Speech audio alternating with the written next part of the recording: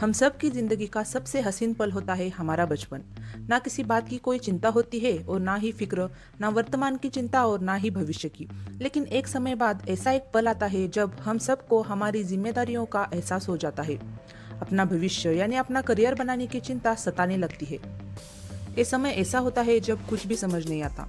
मन में आता है कि काश कोई होता जो हमारी करियर में मार्गदर्शन करता।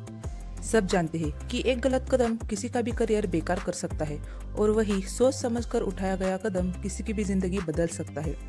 इन्हीं सब बातों का ध्यान रखते हुए हमने आपके लिए एक खास वीडियो बनाया है। अब हम ऐसे सिक्स पॉइंट जानेंगे जिससे आपको ये पता चलेगा कि आपको कैसे अपना करियर चूज़ करना है।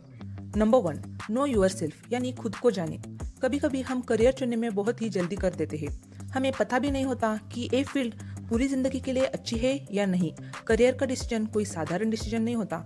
आप जो डिसीज़न लेते हो, उसका सीधा असर इस बात पर होता है कि आप कैसी ज़िंदगी जीना चाहते हैं, क्या पाना चाहते हैं और आप क्या बनना चाहते हैं। आपने आपको जाने, खुद को समझ ले और फिर ही उसके बाद आप अपना करियर चूज़ करें। नंबर टू ओपन माइंड यानी खुला दिमाग रखिए अपना दिमाग खुला रखें और आपकी फ़ील्ड में कई सारे ऑप्शंस रखें। ताकि आपने जो फ़ील्ड चूज़ की है, उस फ़ील्ड के अलग अलग पार्ट में आपको जॉब करने की फ्लेक्सिबिलिटी मिले।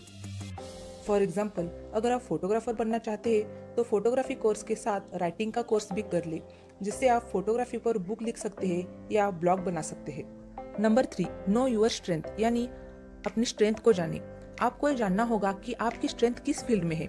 अगर आपने कोई ऐसी फ़ील्ड चूज़ की कि जिसमें आपकी कोई स्ट्रेंथ नहीं है तो पूरी ज़िंदगी उसी काम में आपको सर्वाइव करना पड़ेगा।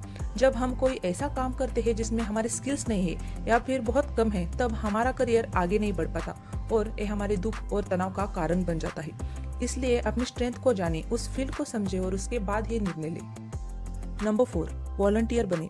वॉलंटियर मतलब बगैर पैसे लिए काम करने की इच्छा होना। आप जो फ़ील्ड चुनने का सोच रहे हैं, उस फ़ील्ड से रिलेटेड कोई भी काम आपको दिया गया बिना किसी पेमेंट के, तब भी उस काम को करने की इच्छा आप में होनी चाहिए। इसे ये समझ आएगा कि आपको वो काम कितना पसंद है, उस काम में आपको कितना इंटरेस्ट है। नंबर फाइव फ़ील्ड से रिलेटेड लोगों से मिले। फ्रेंड्स आपके दिमाग में करियर को लेकर जो भी ऑप्शन है, उससे रिलेटेड लोगों से मिले और उस फ़ील्ड के बारे में जानने की कोशिश करें। उनसे कुछ सवाल पूछे, जैसे कि क्या वो इस काम को अभी भी पसंद करते हैं? क्या इतने सालों बाद भी इस काम में उनको इंटरेस्ट है? इस फ़ील्ड में क्या क्या परेशानियाँ आती है? ऐसे बहुत सारे सवाल आप पूछ सकते हैं। ये सब पूछने और जानने के बाद आप समझ जाएँगे कि उस फ़ील्ड के लिए आप सही है या नहीं। Number six decide yourself यानी खुद से निर्णय ले। आपको पता है कि हिंदी में एक कहावत है सुनो सबकी और करो मन की। मतलब सब कुछ सुनने और समझने के बाद जब निर्णय लेने का टाइम आता है, तब हमें जो बेस्ट लगे, जो सही लगे, वही फ़ील्ड या करियर चूज़ करना है। सब समझने के बाद जिस काम में आपका इंटरेस्ट है, आपका पैशन है, वही काम आप चुने। आपके माता पिता टीचर्स करियर काउंसिलर सब आपका भला ही चाहते हैं। लेकिन आपको डिसीज़न खुद लेना है, क्योंकि आपको खुद से बेहतर कोई नहीं जानता। आपको जो लाइफ जीनी है, जो पाना है, उसके लिए करियर खुद चुने। और जो भी करियर चुना है, उसके लिए बहुत सारी मेहनत भी करें। ये पॉइंट्स जानने के बाद आपको एक क्लियर हुआ होगा कि कैसे आपको अपना करियर चूज़ करना है। So friends all the best for your bright career ऐसी और भी इंफॉर्मेटिव वीडियोस के लिए हमारे चैनल को लाइक शेयर और सब्सक्राइब करना ना भूलिए।